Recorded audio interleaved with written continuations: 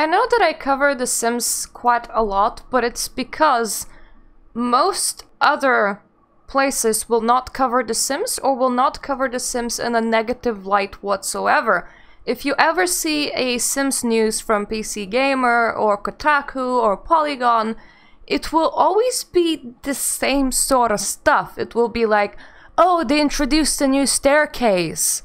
Or, oh, we tried to drown seven Sims, look how cool we are.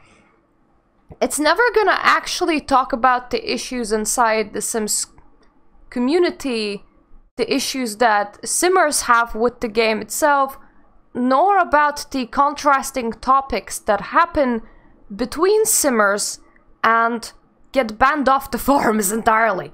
Like my last Muslim thing, like yeah, that got that got me banned again. I'm I'm on average stay unbanned for like two days and then I get banned again, despite never actually being rude. Normally I'm just labeled a troll and told to go away.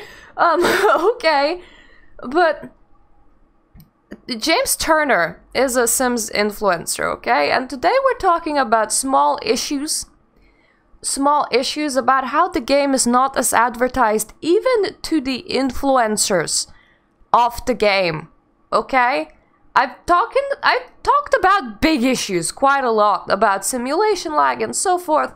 It's time to talk about small issues, the so small quality of life issues that really shouldn't be slipping through a AAA title and should never be forgiven. He shows off a couple of um, game bugs, such as if you place a column, it will go higher up than what is shown until you move it and then this column will shrink again. He has shown such issues as if you're at the top floor making a photography of the sim and moved move a tiny bit move move the camera a tiny bit you fall through the floor and you can't get back up again he has shown the issues about such things as the countertops that are the island counters where you're sitting. that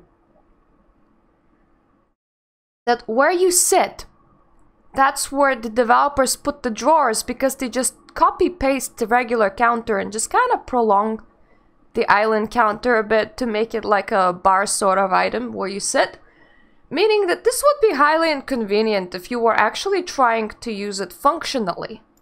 There are other things, such as counters that don't match. This is... One of these is a regular counter, one of these is, a, is an island counter. Colors are different, even though that's the same counter. If you look over here, you can actually see a line because one is darker blue and one is lighter blue. Once again, not something player can choose, for we no longer have color swatch swatches, and it's just something that goes through. Uh, this is an issue of a lighting bug in game that makes two items look like different colors even though they're not. Because this doesn't occur in sunlight. And most recently, they have released a game pack, and this is how they advertise. This is what Sims they used as advertisement. And this is the Sims that we see in game. The only one to match is the middle one, because, get this, the advertisement company, the one that does Sims advertisers, advertisements, is a separate, like, group from the people that even make the NPCs in game.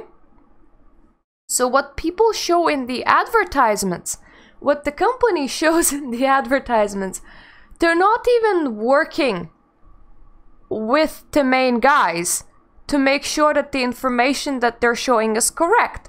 So sims will be different, items will be different, colorings will be different, swatches will be different.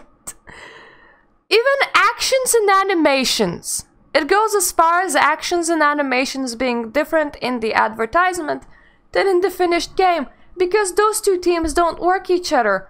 So you don't even know what you're gonna get when you're buying Sims. It has really been such a mess that it's sad that they don't even pay enough attention to get the small things right. Now, that that's a sad bit. And you you know, you you want to hear something even sadder? They're still doing completely great with that. It's because we forgive. We forgive the big bugs.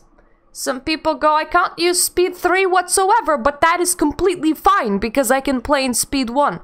We forgive the small things, such as the furniture being not what it's supposed to be. We forgive the intermediate things, such as advertisements not showing what we're actually getting in game. We forgive it all, and I have to ask why. Why is it that the hyper casual audience that plays The Sims is not paying attention to anything? Why is it that you can literally sell them poop on the stick and people will still buy? And why should this be normalized? This is why I really hope for a The Sims competitor. For something that I can buy and I can invest my time and money into. Because I don't I don't want to support this, so I stopped. But there is absolutely no alternative.